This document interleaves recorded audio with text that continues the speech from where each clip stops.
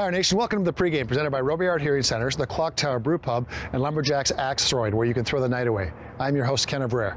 Well, the Ottawa Redblacks put the final touches on their game plan in advance of their Friday night date out west with the 1 9 BC Lions. There's no underestimating the Lions, especially after this past weekend when the 1 9 Toronto Argonauts absolutely shellacked the Redblacks final score 46 17.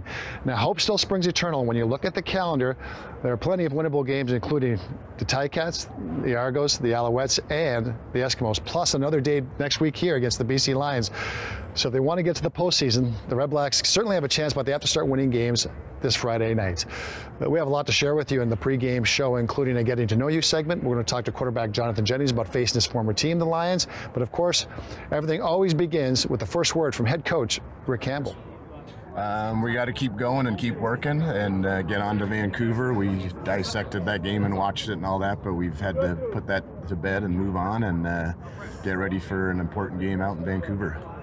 The Lions have had a lot of trouble protecting their quarterback. It looks like they've been a little better um, the past game or two.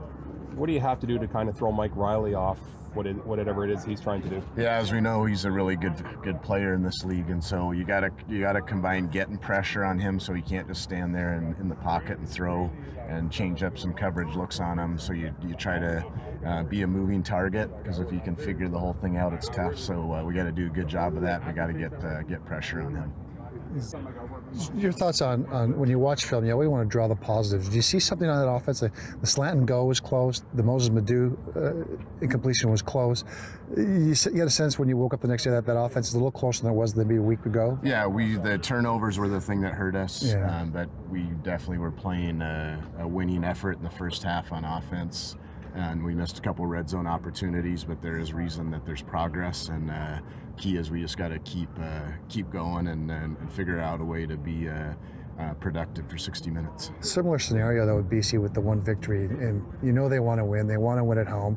It, it's not going to be a fun game for you guys, and it's eerily similar to maybe this Toronto matchup you just played. Well, yeah, they're Toronto and BC are good teams. I know what their record is. I get that, but they play everybody close and play people tough, and um, so I don't view them differently as far as um, their ability and the players they have on their team and the coaches they have. So we're going to have to play really well to beat them.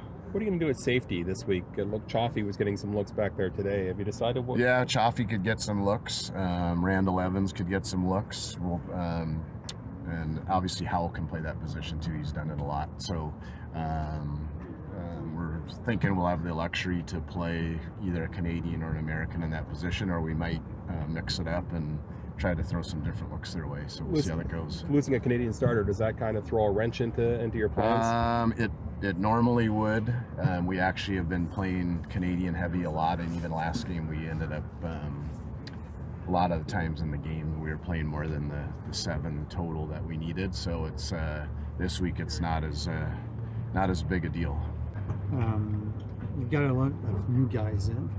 Uh, one of them, Pace. Um, just your assessment of what he's done in the first three games with you guys. Yeah, guy with a lot of promise. He's uh, um, gets in there. He's not afraid.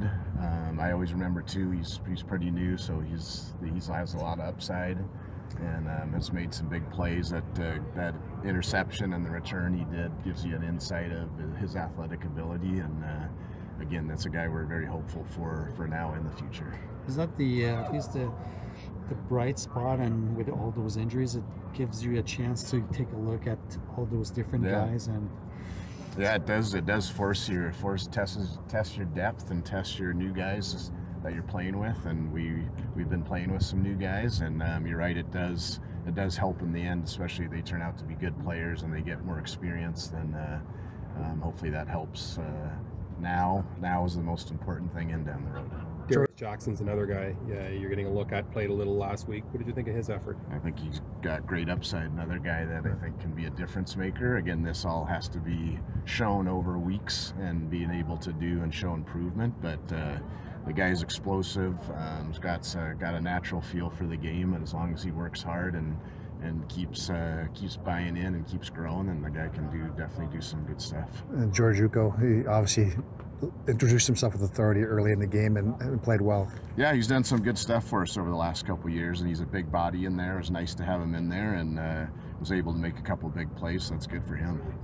Nembot, uh, is he likely out again this week? Um, probably he might fall into your ratio thing, but he's a he's a guy that uh, we like.